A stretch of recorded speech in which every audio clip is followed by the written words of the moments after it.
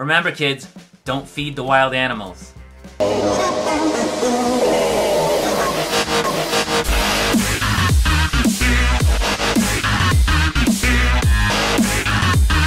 We have another exhibit in the zoo to show you. This is the alligator exhibit.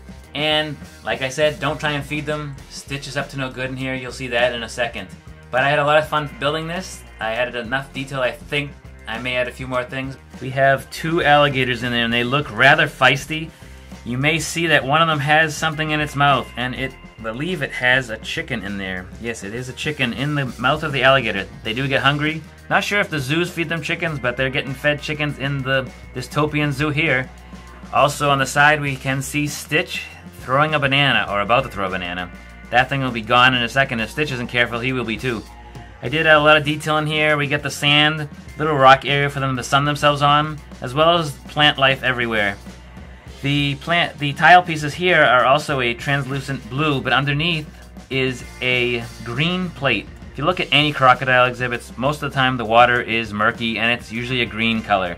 So we added green underneath this to give it a little more realistic look to it. I think it came up pretty good. We're going to rotate it a little bit here. And here we have the palm tree. Um, that's an older piece that I had and added these palm fronds on top of it. And if you bring this around, you can just see the other side of it. Again, we have these offset, offset windows. We have two rows of four windows on each side, and that way visitors can get a look at the crocs from both sides. I think it's coming out pretty good. I added tan pieces here. They look like bamboo, just to give it more of that alligator look. I don't know what you call it, but I like the way it came out. Let me know what you think. Alligator, crocodile, it's one of those. Actually, these are alligators. They have a more rounded snout where a crocodile has a really pointy snout. Here's one of the old alligators. This is from an old set and you can see this one's a lot different. There's no painting on the eyes. The eyes don't even, they're, they're inset, not even the way the other ones are. It does have more spikes on the tails, but I like the new ones better so I'm not using this guy. Maybe this will be on display in the zoo somewhere. Not sure. There's not a lot of room in this zoo. It is limited in space. But this was a fun build. I had fun building it, and I am excited to build more of them, and I'm excited to show you guys more of them. Don't forget to check us out on Instagram and Facebook and YouTube and Twitter at Built From Bricks, as well as our monthly live stream at 6 p.m. Eastern Standard Time. See you later, alligator. After a while, crocodile. Thanks for watching. What have you built today?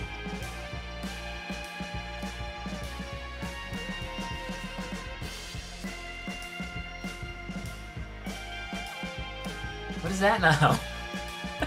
It's like somebody opened up, like, what is it, Perfection? They're playing That's it Perfection. It's like. like, and it's gonna just pop. Listen. I heard it. Oh, I heard it. What is that? I don't know. Anyway, I'm gonna ignore the noise in the background and Hey, Brian, you can't seem to keep an alligator and a crocodile straight. how do you tell the difference? One you're gonna see later, and one you're gonna see in a while.